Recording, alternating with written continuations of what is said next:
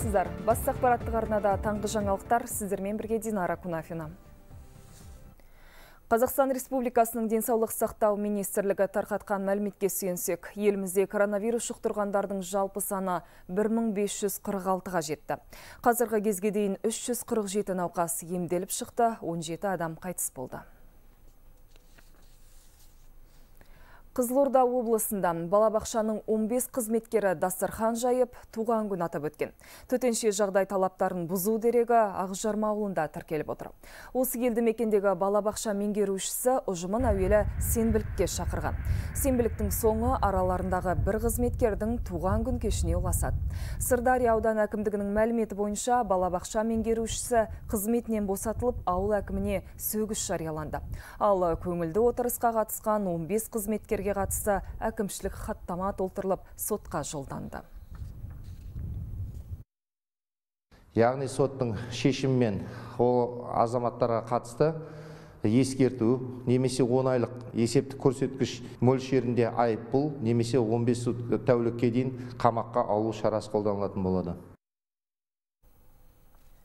Семейде көлік және жаяу жүргіншілер қозғалысы қатаң шектеледі. Бұдан бұлай техника құралдарының жүріп тұру үшін арнайы рұқсатқа қосымша бағытсыз басы қажет. Және барлық құжаттар арнайы электрондық мәліметтер қорына енгізілуі тиіс. Бұл сәуірдің 18-нен бастап енгізіліп жатқан карантиндік шараларға байланысты дейді полицейлер. Бұған дейін қалада тек белгілі бір дәрежедегі шектеулер болған. Ол бойынша әр үй мен пәтерден тек бір адам өз ауданында күн аралата дүкен дәрханаға баралатын. Ал көлік жүргізушілері мемлекеттік тіркеу нөмірінің болуына байланысты ғана қозғалған еді. Арнайы өткізілген рейд барысында бір сағатта 12 рұқсаттама алынып, 20 көлік жүргізушісіне ескерту берілді. Кейбір жағдайлар бар, жаңағы анықтамалар дұрыс емес, не болмаса, жаңа бағыт бағдарда дұрыс жүрмегенде бар. Олардың кәдімгі рұқсаттама берілген рұқсаттама қағазын алып отырмыз. Апарып өткізіп отырмыз оны. Бұл жүргізушілерге ескерту жасалып профилактика жүргізіліп жатыр ертеңнен бастап жаңағы карантин режим күшейе түседі деп. Ертеңнен бастап ескерту болмайды. Ертеңнен бастап бұл кісілердің бәрін жаңағы учаскелік полиция пунктіне отделға апарамыз. Ар жақтан сол жақтан әкімшілік хаттама толтырады. Талдықорғанда бүгіннен бастап карантинге байланысты сақтық шаралары күшейтілді. Нақтырақ айтқанда автобуспен және жеке көлікпен жолаушы тасымалына тыйым салынды. Арнайы тіркеуден өткен такси қызметі ғана қалалықтарды діттеген жеріне жеткізе алады. Екінші деңгейлі банктер мен ақша айырбастау пункттері де өз жұмысын тоқтатып, базарлар жабылды. Тек азық түлік сататын сауда орындары тұтынушыларға таңғы 8-ден кешкі 8-ге дейін қызмет көрсетеді. Жанармай бекеттері де осындай режимге көшірілген. Тұрғындардың дәрі дәрмек тағам алуына, жұмысына және ауруханаға баруға болады. Қала ішінде серуендеуге аулаларда балаларды ойнатуға болмайды көршілес аудандардан облыс орталығына келетіндер үшін де шектеу қойылып отыр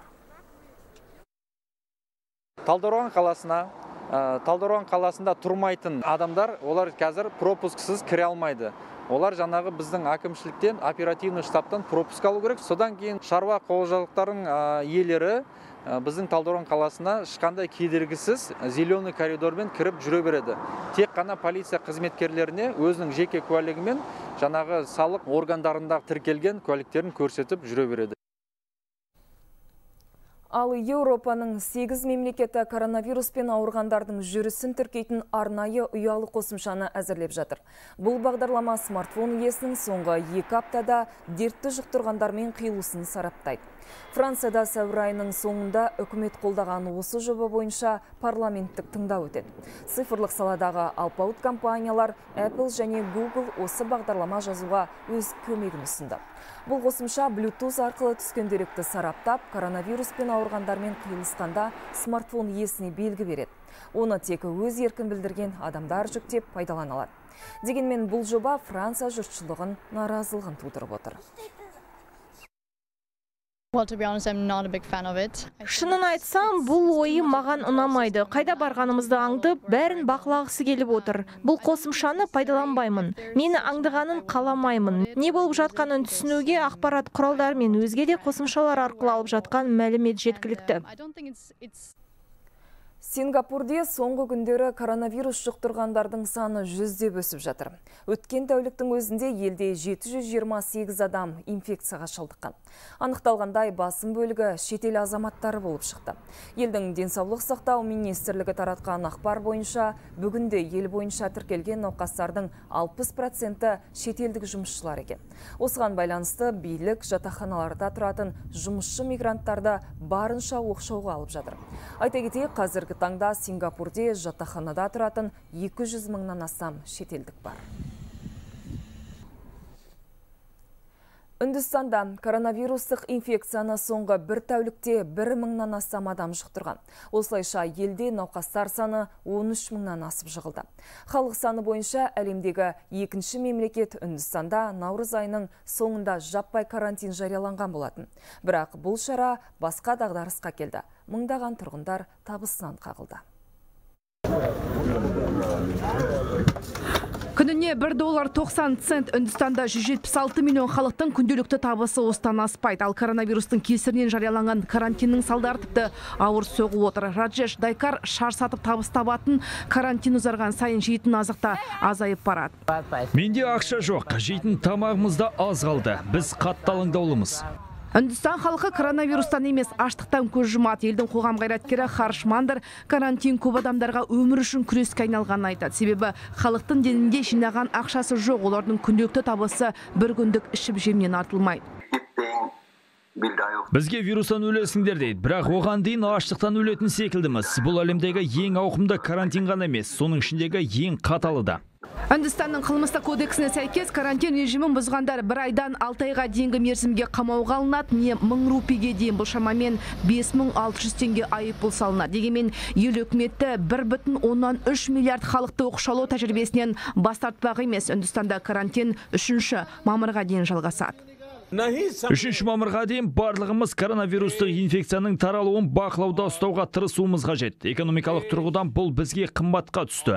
Бірақ Үндістан халқының өмірі әлде қайда қымбат. Қатаң карантинді шараларына қарамастан вирустың беті қайтар емес. Елде инфекцияны бір тәулікте бір мыңнан астам адам жұқтырып, науқастар саны 13 мыңнан асып кетті. 448 адам көз жұмған. Жамар Қабаева, Айдос Сентебеков, Хабар 24. Италиядан бір топ волонтер үй жануарларын асырайтын жандарға көмектесуді қолға алды. Дәлірек айтқанда, еріктілер ит пен мысықты серуенге шығарып, қажет болса оларға ветеринарға қараталады. Тіпті жануарларды уақытша өз қарауларына алуға да дайын екен. Волонтерлердің айтуынша, олар ит пен мысық асырайтын кез келген азаматқа қол ұшын созуға әзір. Тіпті COVID-19 вирусын жұқтырған жануар иесі болсын дейді олар.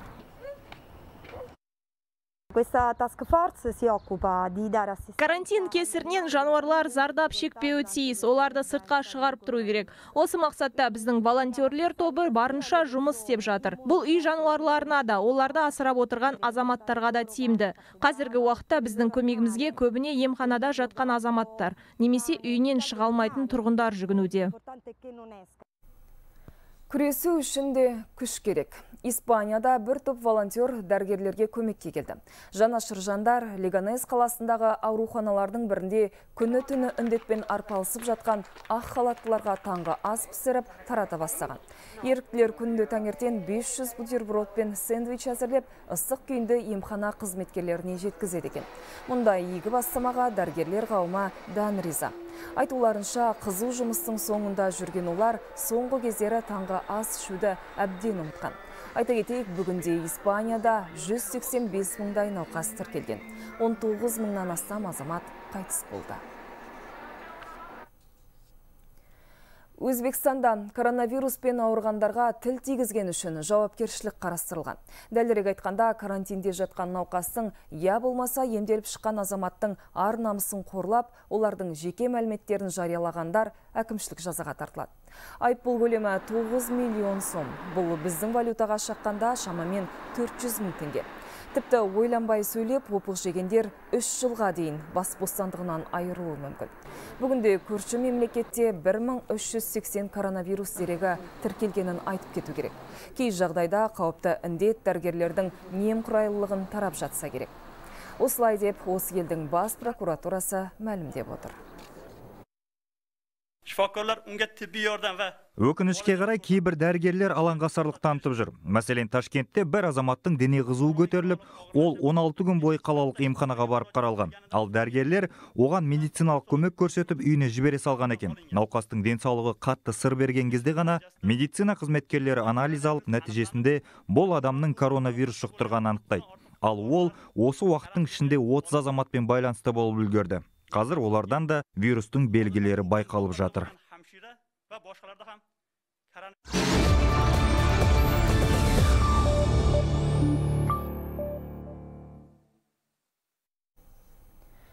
Карантинде тұнжырау атамаңыз. Өнерлі өлке өрендері қазір жұрт көңілінен шығудың небір амалын тауып төл туындыларын ұсынып жүр. Еліміздің әр түкпіріндегі ауыл халқы тіпті туған жерін жырға қосып, елді білуге үндеп, қадірлеуге шақырады. Әлеуметтік желіде тарап, әлеумет арасында кең насихатқа ие болған әрі алғысқа бөленіп жатқан өнерпаздар да баршылық. Ән салып сәлем жолдағандар легі біздің тілшілер назарына ілікті. Әріптесім Мерей Мұратханқызы видео жазбалардың бір қатарына шолу жасады.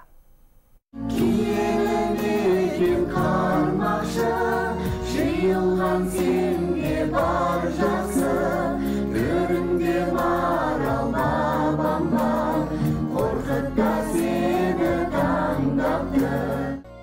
мекен қармақшының халқы бұл. Коронавирус індетінің дендеп тұрған шағында жерлестерін жабықтырмай шабыт беріп отыр. Ауыл тұрғындары бір әуенге тарих пен тағылымды сыйдыра білген. Ал қармақшылықтардың басын қосқан арнұр көшенейұлы.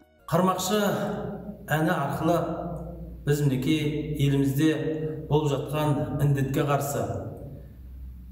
Елімізді жерлестерімізді сабырлыққа береке бірлікке шақыруды жөн көрдік. Осындай қызылтайын уақытта біз елмен бірге екенімізді жер жерде жолдап жатқан үндеулерге біз де мінекей үн қосқанды жөн көрдік. Шығыстан да осындай сәлем жетті. Биыл абайдың 175 жылдығы. Карантин салдарынан мерейтой ұмытылып кетпесе дейді қарауылдықтар. Сондықтан бас ақын туған өлкені жырға қосып бірлігін паш етті. Әнін әуенін гүлмира сарина жазды. Сөзі жұлдызай ысқақтікі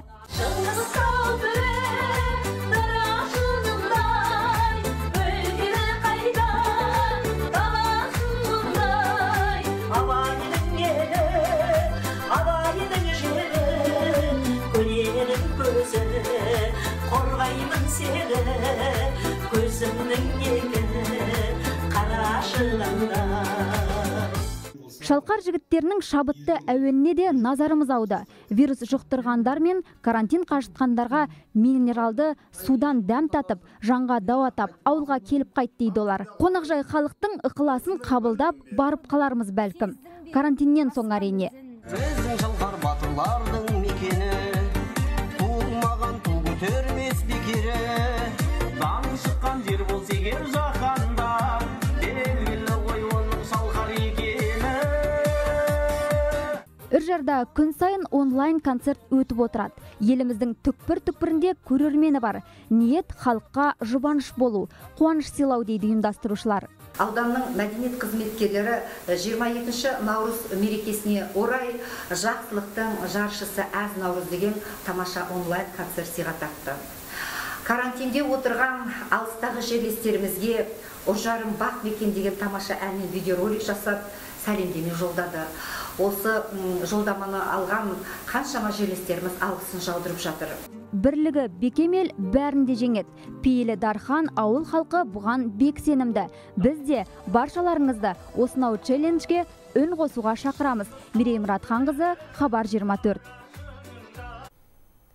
Каспийдің итбалығы Қазақстанның қызыл кітабына қашан енгізіледі? Табиғат қорғаушыларының өзекті сауалға жауап іздеп жүргеніне биыл 10 жылға жуықтады. Маңғыстау облысының құрлық пен су жолы арқылы төрт мемлекетпен шекаралас екені көпке мәлім. Көршілес Иран, Әзербайжан, Түркменстан мен Ресей теңіз сүт қоректісін әлдеқашан өз қорғауына алған. Ал біздің елімізде осы мәселеге қашан көңіл бөлінеді? Тілшіміз Талғат Исламұлы тарқатады. Қалдым бейшара тонна каспийдің жағалауынан өлі итбалықтардың табылуы жиілеп кетті. Тек осы аптада қаладағы үш жерден төрт су жануарының денесі табылды. Шала жансар күйдегі мына итбалық екі айлық күшік екен. Мамандар оның аналықтан көз жазып қалуын қаскөйлердің әрекетімен байланыстырады. Толқын ұрып басы тасқа ұрылған теңіз хайуанын сақтап қалу мүмкін болмады. Ол арнайы орталықта бірнеше күн бақылауда болған еді. Жаралы болса итбалықты алып келіп бірінші салмағын өлшейміз. Одан кейін салмағын өлшегеннен кейін мына жерде жайылады осы жерге салып жаңағы итбалық полный тексеріледі содан кейін барып мына ваннаға көшіреміз. Бұл орталық былтыр тамызда ел тарихында алғаш рет ақтауда ашылды. Теңіз итбалығын зерттеу және оңалту бағытында жұмыс істейтін мұндай мекеме иран мен ресейде әуелден бар. Қазақстандық жоба қайырымдылық қор қаржысымен жүзеге асты. Орталық мамандары ауру немесе жараланған теңіз хайуандарын емдеп табиғи мекендейтін жеріне жеткізіп салып жүр. Орталықтағы ванналарға су өзіңіз көргендей кәдімгі құбырдан құйылып тұр. Техникалық судың итбалық денесіне қауіпсіз болу үшін оның құрамы келесі бөлмедегі зертханада өзгертіледі. Мұнда судың тығыздығы өлшенеді және оның құрамына қанша металл мен тұздың қосылу қажеттігін мамандар арнайы құрылғылардың көмегімен анықтайды. Барлық жағдай жасалған орталық қазіргі уақытта бос тұр. Ашылғалы бері мұнда бес итбалық жеткізілген. Дер кезінде көмек көрсетсе де мамандар екеуін құтқарып қала алмады. Соңғысы жуырда қала тұрғыны 15-ші шағын ауданда жағалаудан тапқан итбалықтың күшігі басы жарылып жағы іскен теңіз хайуаны үшінші тәулікте жан тапсырған. Өкінішке орай оны сақтап қала алмадық. Себебі оның басынан қатты жаңағы жарақат алған ішкі жағынан жаңағы сыртқа көрінбейді тек құлағы мұрны арқылы ғана қан болды. Осында қандай да бір итбалық түсетін болса жаңағы айтқандай 24 сағат тексерісте болады. 15-20 мүмкін кішкентай болып жатса 20 итбалыққа дейін бірден ұстауға болады сәуірдің 13 мен 16 аралығында тұрғындар бірінші жетінші шағын аудандар мен қала сыртындағы жағажайдан өлі күйдегі итбалықтар тапқан еді. Табиғат қорғаушылар олардың денесінде ау іздері болмаған мәлімдеді. Мүрделер қатты бүлінген. Осыған қарап 4-5 ай бұрын өлген деген болжам айтылды. Тиісті мамандар шақырылып арнайы контейнерде өртенді. Тұрғындардың тарапынан әрине жаңағы алаңдаушылық тудырды. Бірнеше итбалық шыққаннан кейін үш төрт күн бұрын оңтүстіктен қатты жел болды теңізде шторм болды. Осы кезде теңізде ішінде өлген жаңағындай итбалықтар жағаға шығып қалған. Табиғат инспекторлары балықшылар ауына шырмалған итбалықтың қайтадан суға лақтырылатынын да жоққа шығармайды. Олар жағалауға шығып қалған су жануар туралы ақпаратты 24 сағат бойы қабылдауға дайын. Бұл үшін 8775 101 1122 номері арқылы кол орталыққа байланысу қажет. Талғат исламұлы саламат бекбаев ақтау хабар 24 Алматыда да әлеуметтік маңызы бар азық-түлік тауарларының қоры жеткілікті. Осы санатқа жататын 17 түрлі өнімнің құнын қымбаттатпай ұстап тұру үшін жергілікті бюджеттен жеңілдетілген несие ретінде 5 миллиард теңге бөлінген. Бұл туралы Алматы әлеуметтік кәсіпкерлік корпорациясының басқарма төрағасы Асқар Біліспеков хабарлады. Толығырақ тілшіміз Ұлан Нарымбек баяндайды сәуір айының басында алматыда қарақұмық таусылып дүкеннен табылмай қалған еді. Дереу тұрақтандыру қорынан 348 тонна жарма ірі сауда орындарына жеткізіліп тапшылық жойылды. Қорда бұдан өзге 700 мың литр сұйық май мен қанттың да қомақты мөлшері бар дейді қала басшылығы. Второй механизм, как я уже говорил, это продавать. Бағаны тұрақтандырудың екінші жолы ірі сауда орындарында стратегиялық маңызы зор өнімдердің қорын жинау. Сенімді деген сауда желілері мен тауар өндірушілерге жеңілдетілген несие беріледі. Осылайша қажетті қор қалыптасады. Содан кейін олар өнімді бекітілген бағамен сатады. Әкімдік әлеуметтік маңызға ие азық түліктің шекті бағасын бекіткен болатын. Одан қымбатқа сатқандар жауапкершілікке тартылады. Бұл талаптың орындалуын қадағалау аудан әкімдіктерінде құрылған комиссия мен жедел топқа жүктелді. Арнайы мониторингтік топ жемқорлыққа қарсы іс қимыл агенттігінің алматы қаласы бойынша департаментінің жанынан да құрылды. Қоғамдық жұмыс болған соң әйтеуір біз жиырма шақты адам бармыз біз жан жақтан. Арамызда сабақ беретіндер де бар бас дәрігерлер де бар. Ол үшін бізге ешкім жалақы төлемейді. Кішігірім дүкендерді де аралап қарап тұрамыз біз. Оларда енді кейбір кезде көбірек қосатын бар. Елімізде коронавирус алғаш рет тіркелген күні алматыдағы ірі супермаркеттердегі сауда көлемі екі жарым есеге артқан еді. Ал қазір ешқандай қарбалас байқалмайды. Адамдар бар азырақ. Енді бір аптасына бір апта он күнде бір келеміз продукт біраз алып кетеміз. Май мен жармаларды бұған дейін алып қойғанмын. Бүгін көкөніс алуға келдім. Соңғы 30 күнде екі рет қана далаға шығыппын. Әкімдік ірі тауар өндірушілермен және үлкен сауда желілерімен қаланы үздіксіз қамтамасыз ету туралы келісімді бекітті. Соған сәйкес жалпы көлемі 22 жарым мың тонна әлеуметтік маңызды деген азық түліктің 17 түрі қолжетімді бағамен сатылатын болады. Ұлан нарынбек айдар әбдешов хабар 24 алматыдан. Әзірге айтарымыз осы. Арнамыздан алыстамаңыздар.